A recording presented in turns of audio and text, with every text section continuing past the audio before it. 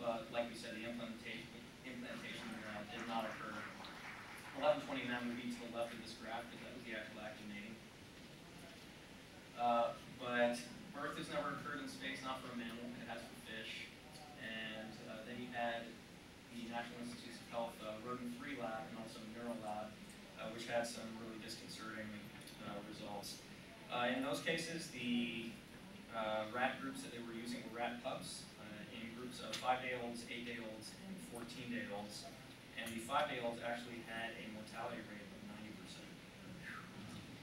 So the 8-day-olds, by the time, just a few days later, that mortality rate dropped to 10%, so it effectively uh, swapped, swapped the coin. And the 14-day-olds all survived. So those three days apparently were uh, pretty critical and made all the difference. Suggests that something uh, went, went very wrong as far as uh, development goes uh, during postnatal growth, and it is likely a function of uh, gravity having a very important role to play in developing our cytoskeleton systems. Uh, another note on those experiences, uh, of all the surviving pups, the ones that did survive weighed actually about 25% less than ground controls, which is somewhat expected. You know, we know that when we are in microgravity, our organs are, you know, and muscles don't have to be as dense. They're not working as hard. Our heart doesn't have to pump as hard, and so you can expect things to be slower.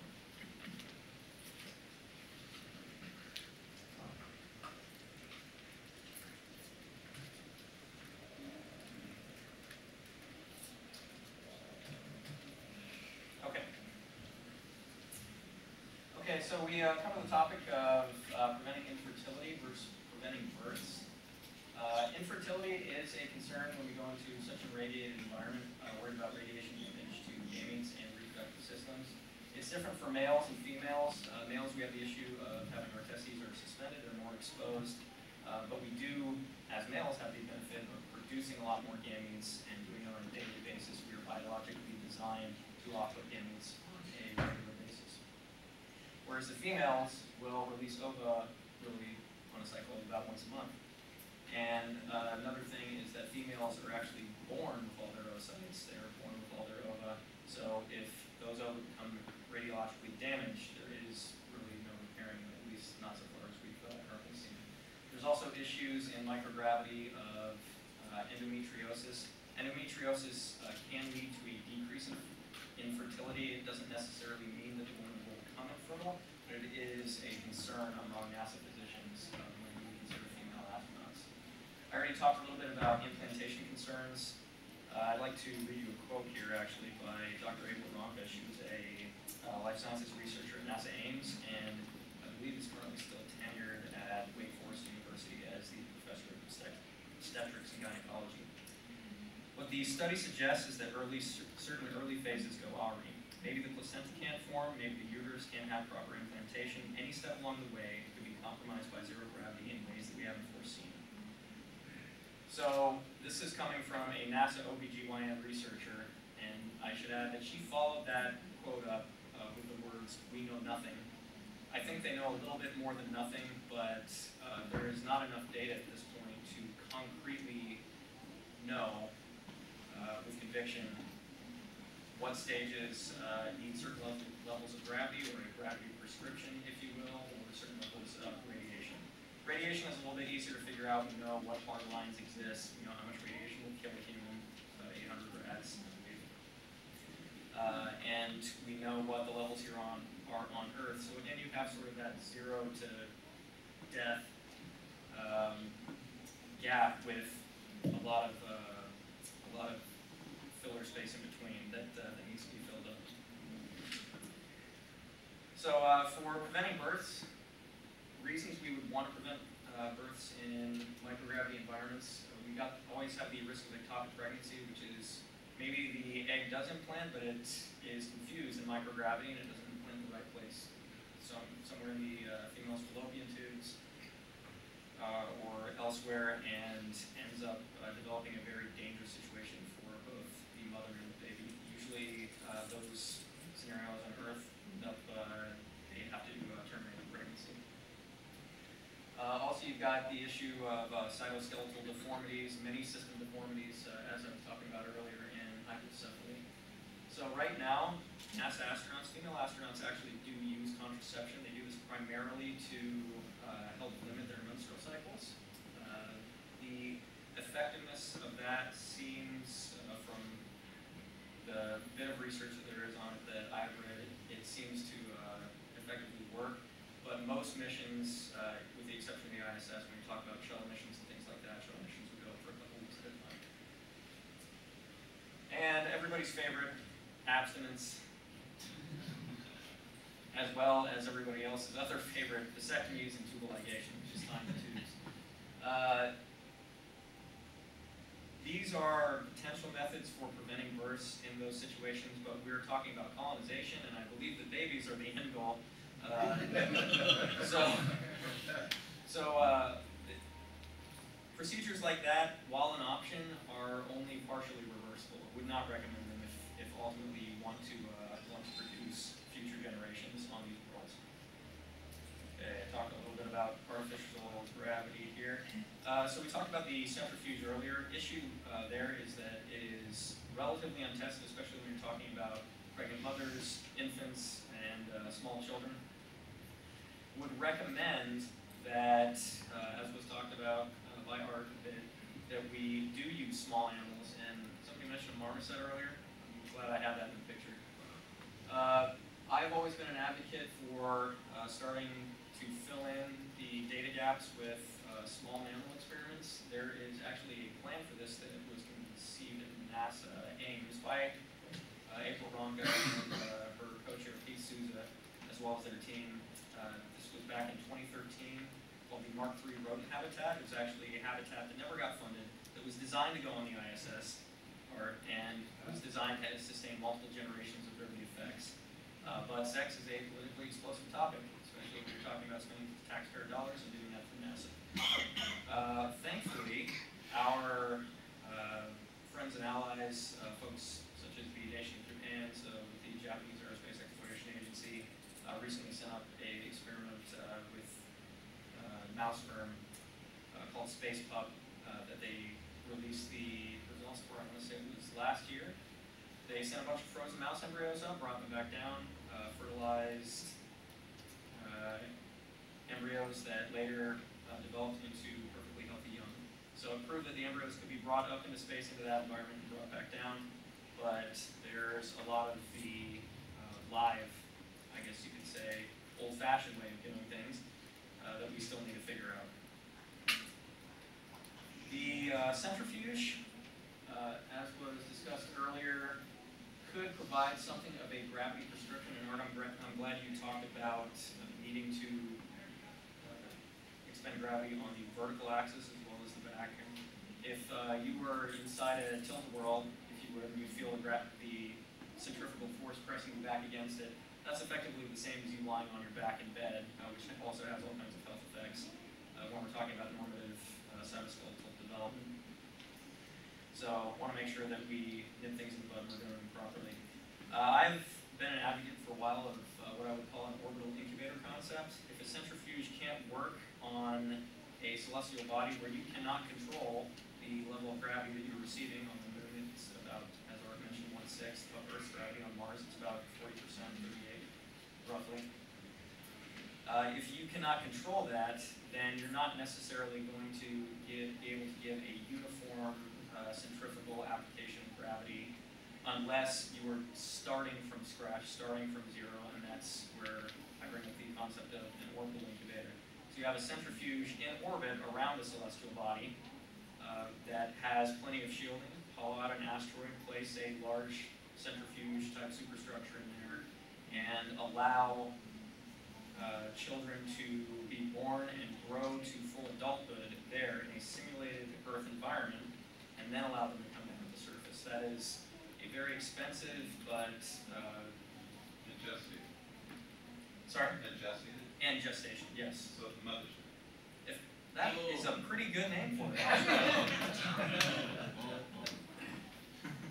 I like that. Okay, so we'll talk a little bit, real quick, about the uh, concept of the first off-world birth. Last October, about a week before I was slated to uh, slated to speak at New Worlds in Austin on this very topic, there was a press release uh, that was put out by a company in the Netherlands named Space Life Origin. And they uh, have recently undergone some restructuring. Uh, the old CEO is out. The uh, guy who was the COO is in as the uh, as the new uh, chief executive officer. Their uh, stated goal on their website is to have the first baby born in space by the year 2024. No, that's not a typo. Five years from now.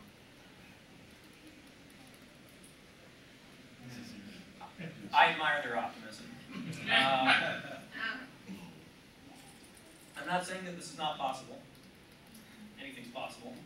Um, but I, uh, I do not envy them the ethical, medical, and legal uh, minefield that they are going to have to navigate, and the research uh, that they are going to have to conduct to be able to do this ethically.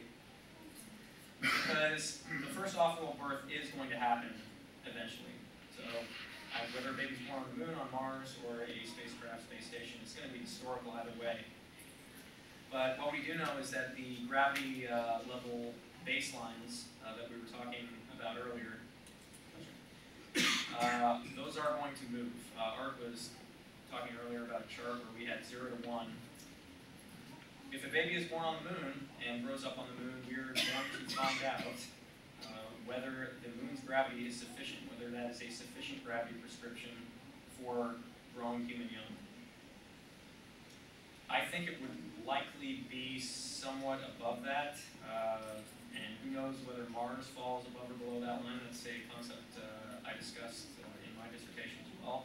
But you want to make sure that uh, those young are getting the proper gravity prescription and the proper level of shielding from radiation in the environment uh, to to grow up relatively normal. And we're not just talking about physical development, we're also talking psychological, emotional, uh, and social development, which I will talk about on this one. So, what is the second here?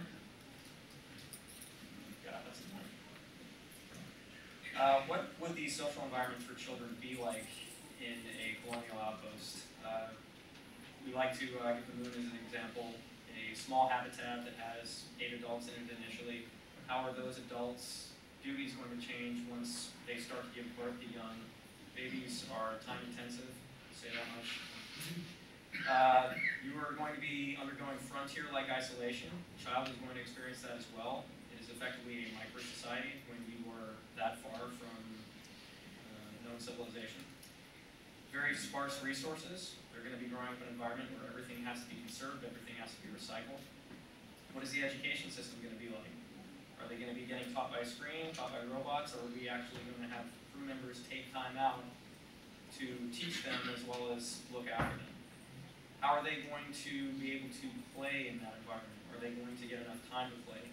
Play is actually one of the most important teachers that most children have. That's where they learn the most lessons. Uh, I know for boys especially, we learn through physical pain. So we learn not to ride our bikes too fast because we crash our bikes and fall off and get scraped up. Um, it's a little bit different for females. They're probably quite a bit smarter than we are uh, when it comes to common sense. Uh, and you also have to consider the fact that these children will be growing up and living inside a very, very compact world. In order to attain that 300 millirem level of radiation exposure on the surface of a place like the moon, you would have to dig down about 12 to 14 feet. So we're talking not inches of regolith, not 11 centimeters, but 12 to 14 feet of regolith to get to that sea level, healthy radiation level, where I would highly recommend that children be raised in. So everything else is already stacked against them, gravity loads. Also, uh, Art hit on this a little bit, uh, potential returns to Earth. Every, I'm of the opinion that every child that's born, born in the solar system ought to be able to return to their home planet someday. Uh, that's why we call it Mother Earth. And are they going to be able to return to that planet someday? Are they going to be able to sur- survive in a higher gravity well? Anybody here, I forget when this film came out, it may have been a few years ago. There was a film called The Space Between that, uh, that came out. It's about the first, uh, you know, it's a, it's a, I think a kid love story film, but uh, it's about the first boy born on Mars who grows up on the surface of Mars, apparently seems totally normal. So that was encouraging. And uh, then ends up uh, returning to Earth uh, when he's a teenager and starts to suffer physically from the effects of living in a higher gravity well. So is that going to be something that we have to contend with? There's a good chance. We have evolved our entire uh, biological history in a one-g environment. Everything else about that environment has changed over time. Uh, continents have shifted. Uh, the uh, air has has altered in its chemistry. Uh, we have had different differences in temperature, but all the way from our time as single-celled organisms all the way up to the complex sentient organisms that we are now. Gravity was always the one constant on Earth. So to suddenly and radically change that constant could have pretty profound effects on our cellular development. Oh. Okay, uh, so in conclusion, uh, what we have discussed as far as reproduction is that uh, if we're going to go into space, if we're going to survive and thrive in space and establish colonies, and we want it to be more than one generation in duration, uh, we need to learn how to reproduce out in those environments. So reproduction in space is indispensable to our survival as a species, and we all know the odds that if you lay it out against the graph of time, single planet species don't survive. So our survival on, as a species hinges on this. You would think it would be sort of high priority. Uh, our ability to reproduce those genetic lines, our own genetic lines, and those of humanity in general in space, that is going to be your truest measure of Earth independence. Can we leave the cradle of our civilization, can we leave the cradle of our genetic upbringing, uh, and land on new worlds? Many, many challenges and pitfalls uh, still exist. Like I said, it's a bit of a minefield. There's a lot of research that remains to be done. There are certain uh, stages of the reproductive cycle that have not even had investigation yet. Uh, so we need to garner as much data as we can together and do some analysis. So before we start birthing human babies in space, we have a much better idea of what some of the uh, boundaries are. Mitigation techniques, uh, as I mentioned, do exist. They could require extensive engineering. Hey, we're going to have to tunnel into the surface a bit and at least raise children down deeper than folks living up on uh, living up on the surface. If you want your healthiest development for everybody involved, it's probably a better idea to mitigate as, as much as you can. But understood, we are going to have to work on the surface uh, occasionally. We're just going to have to limit our time. Also, uh, family units are going to be forming the core of those colonial outposts in space, uh, as they have really throughout every human settlement in history. And not every definition of a family unit is the same, uh, but you will have families out there in order to grow them. This is something we're going to have to figure out. And that is it for me. Uh, we'll be happy to take questions.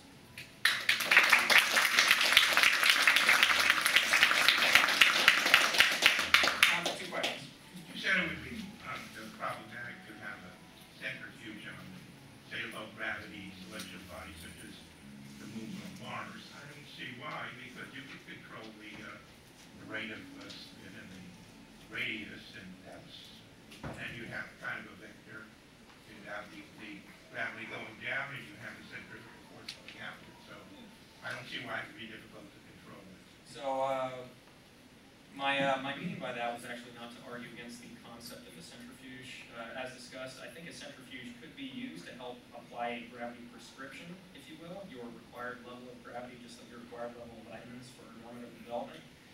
Um, however, if you want to talk about creating a Earth simulated environment that is effectively a reproduction of an Earth environment, Earth levels of gravity, Earth levels of radiation, that we know works, we know we can safely and healthily develop young in those environments because we've been doing it for millions of years. Uh, you are not going to be able to do something like that on the surface of Mars or the Moon. Twenty-four seven. Not 24/7. Yeah, and and that's that's my meaning. It's not you're not able to sustain that as a cycle. If you do something more along the lines of the orbital incubator concept, then you know you can grow humans to full maturity, uh, and at that point, then they can travel down to the surface and fulfill uh, fulfill roles in a colony down on the surface of Mars and or other celestial bodies. So no, I don't wanna, I wanted to respectfully disagree with that conclusion, but, but maybe some other folks can talk first. Can talk. Okay. Sir, in the back? Um, your list of disadvantages, uh, one thing you left off was, uh, protect, uh, sort of the protectionism, anxiety, and if one of the couple crew dies, you've got a grief component there, which may affect their, uh, you know, ability to operate, uh, uh, or function, uh, for the rest of the trip. Yes, absolutely. Um, what I should have slide came around is there are a lot more advantages and disadvantages than, uh, than were listed there. Obviously, uh, if you have a couple crew members and, like you said, somebody has an accident or dies, the other half of that couple, their priority is going to be most likely, or at least their thoughts are going to be most occupied uh, with the status of their loved one. Uh, so yes, it could have very significant impacts, very significant damage to crew mission overall, especially since you're talking about such small crews. Uh, sir, Mr. So, it's a question, why do we necessarily have to have a separate effector? So, the the reason I bring this up is most of my ancestors, and probably everybody in this room who's immigrated to the US at some point.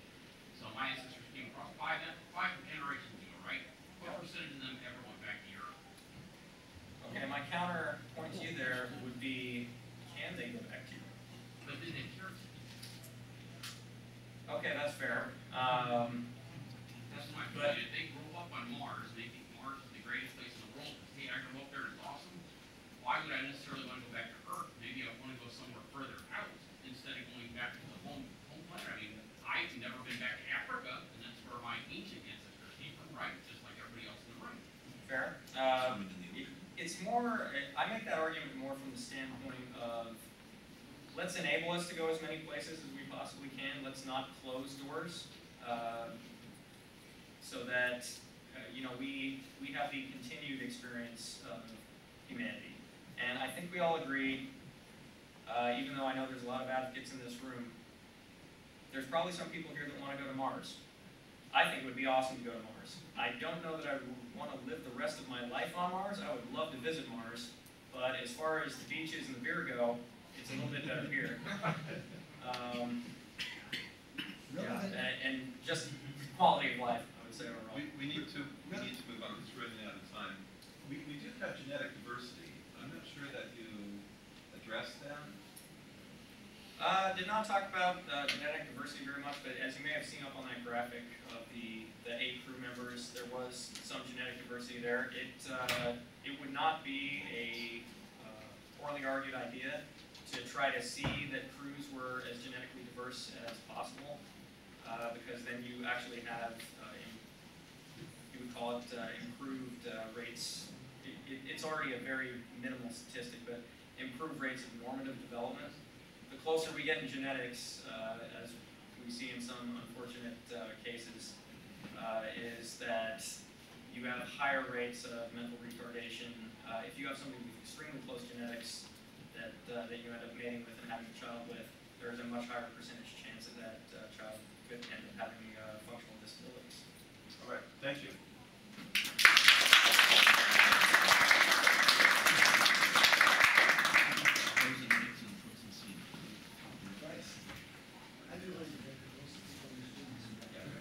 And if anybody wants a DVD, we're, uh, we'll